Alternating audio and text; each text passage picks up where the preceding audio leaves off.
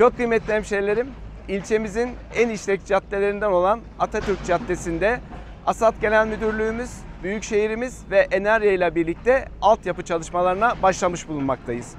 Burada içme suyu borularımız, altyapımız ve doğal gaz borularımızın ardından sıcak asfalt çalışmasıyla Dua Yokuşu mevkine kadar yolumuzu sıcak asfaltla kaplayıp daha sonra da kent estetiğine uygun bir şekilde kaldırımlarımızı inşallah yapacağız.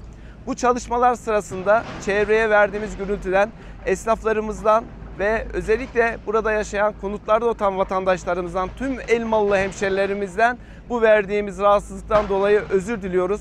En kısa zamanda buraları tamamlayıp Elmalımızın hizmetine açıp çok güzel bir ana yolumuz ve kaldırımlarımız inşallah oluşacaktır. Ben bu vesileyle tüm elmalımıza hayırlı olmasını diliyorum. Bu kış elmalımız inşallah doğalgazla ısınacak.